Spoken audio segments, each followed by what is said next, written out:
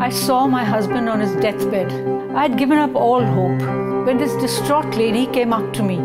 She was losing her husband to a failed liver. You know, suddenly I saw my mangled hope shining in her eyes. My husband gave life to someone, even in his death. I have pledged to donate my organs. Have you?